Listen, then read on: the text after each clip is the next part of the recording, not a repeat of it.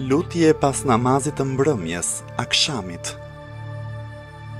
O Zoti im, të lutem me qenien tënde të nderuar, me emrin tënd të madh, me sundimin tënd të përhershëm, të lartësosh Muhammedin dhe familjen e Muhammedit, Dhe të më falësh mëkatin e madh, sepse përveç madhështorit askush nuk e fal mëkatin e madh.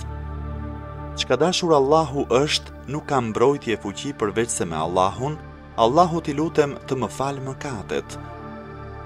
O Zoti im, vetëm ty të kërkoj, me detyrimet e mëshirës tënde dhe me madhështinë e faljes së mëkateve që ti bën, shpëtim prej zjarrit e prej çdo sprove të rëndë, arritjen e xhennetit, kënaqësinë tënde në shtëpinë e shpëtimit të përhershëm, fqinjësinë e Profetit tënd, Muhammedit alejhi selam, dhe fqinjësinë e familjes së tij.